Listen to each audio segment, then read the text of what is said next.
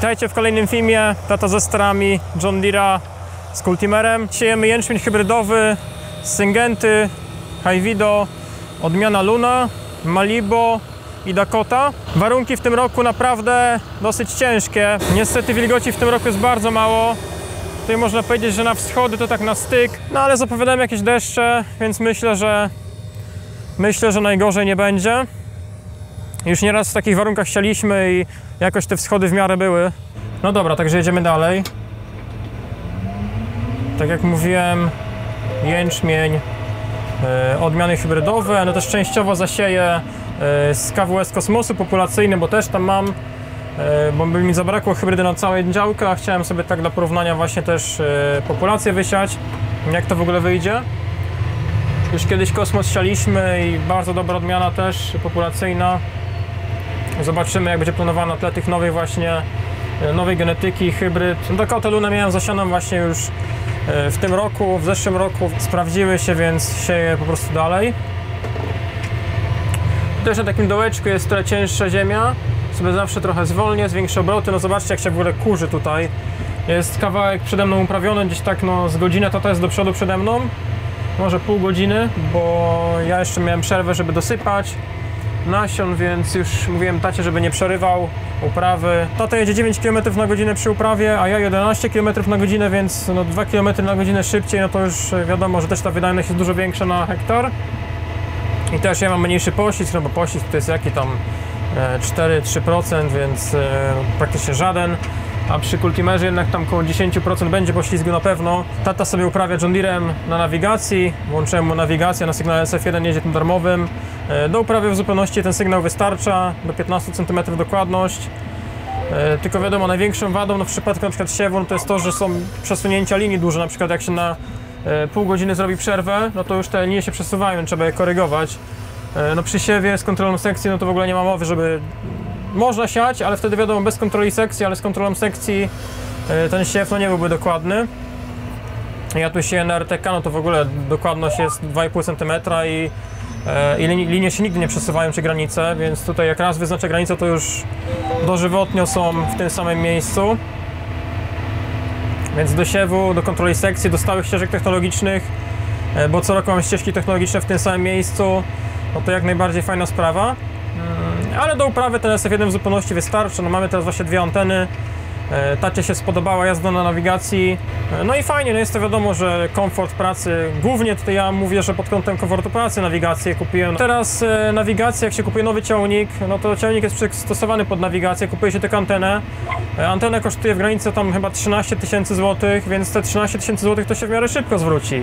To nie mówię, jak już jest ciągnik wstępnie przygotowany, tak jak szesierka na przykład, no to w takim przypadku ta nawigacja się szyb, szybko wróci, ale jak ja na przykład dokładałem do 6930 tą nawigację, e, jeszcze dodatkowo jak sygnał RTK sobie brałem, no to ten zwrot wiadomo, że jest dłuższy w czasie.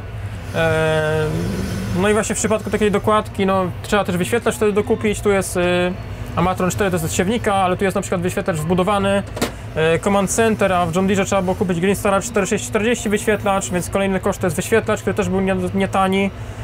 E, także summa summarum, dokładanie do ciągnika, który nigdy nie miał nawigacji, to tak no ekonomicznie może nie jest do końca bardziej pod względem komfortu.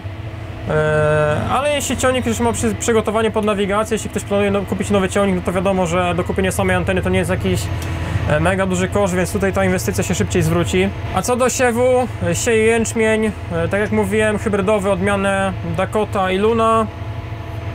Głębokość około 2 cm, może nawet 2,5 cm na słabszej ziemi. Dosyć głęboko się w tym roku ten jęczmień. E, No bo warunki są naprawdę, no wy, wyrzuca się suche z mokrym, y, miesza się to suche z mokrym, więc no, tej wilgoci jest naprawdę bardzo mało do wschodów. Myślę, że powinno wystarczyć na, na wschody, ale no to wiadomo, że te wschody mogą być miejscami nierówne. Dlatego to właśnie e, delikatnie głębiej sieję. Nie zawyżam obsady, nie robię większej obsady. 150 ziaren na metrze, e, żywych roślin na metrze to wyjdzie, bo to biorę pod uwagę siłę kiełkowania, masę tysiąca nasion, e, więc e, taka mi tutaj obsada wychodzi. E, Taką sobie założyłem obsadę. 42,2 grama masa tysiąca ziaren i siła kiełkowania 97%. Takie dane sobie wbiłem tutaj w wyświetlaczu, komputer sam mi wyliczy.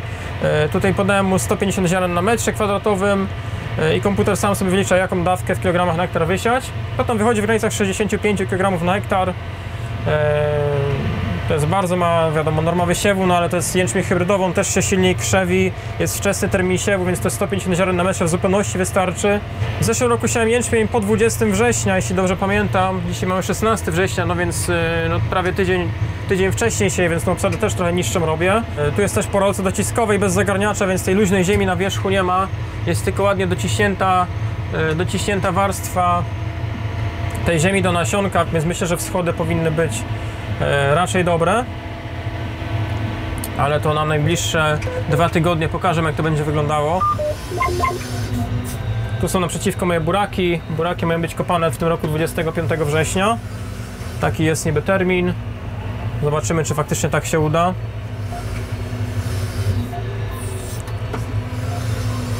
Także w tym roku termin odbioru buraków jest wczesny.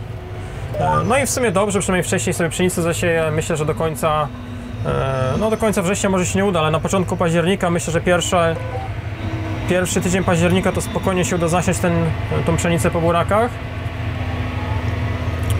No więc siewy jęczmienia zakończone. Udało się zasiać trzy odmiany łącznie. Dwie odmiany hybrydowe, Dakota i Luna z Syngenty e, i jedna odmiana dla porównania KWS Kosmos. W żniwa się okaże, która odmian planuje najlepiej. Działka taka w miarę równa glebowo, także porównanie myślę, że będzie w miarę miarodajne. Dzisiaj siejemy pszenicę, pszenicę nasienną na rozmnożenie, e, ale na ten temat, dosyć ciekawy temat, e, powiem coś więcej e, w kolejnym filmie. Także na dzisiaj to byłoby tyle. Dzięki za obejrzenie, trzymajcie się, cześć!